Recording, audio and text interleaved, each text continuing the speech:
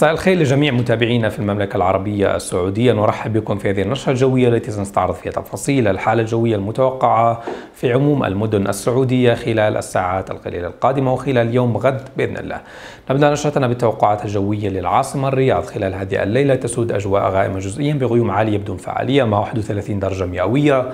المحسوسة 29 درجة مئوية. الرطوبة منخفضة والرياح تكون خفيفة السرعة بالمجمل.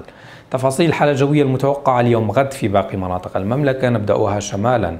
سكاكا أتربة مثارة مع 40 إلى 22 درجة مئوية. عرعر طقس حار مع 41 إلى 22 درجة مئوية. وتبوك طقس صافي 36 إلى 19 درجة مئوية.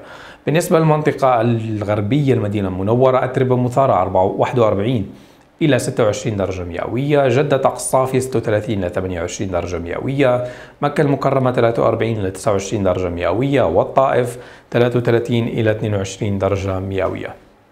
بالنسبة للمنطقة الجنوبية الغربية أبها 30 إلى 18 جازان 38 إلى 30 درجة مئوية مع تفرق لبعض الغيوم والباحة 29 إلى 18 درجة مئوية.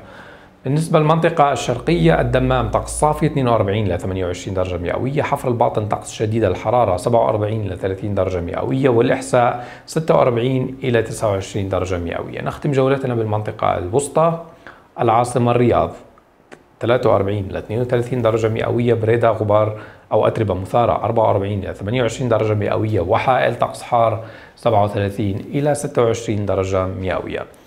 شكرا على المتابعة وإلى اللقاء.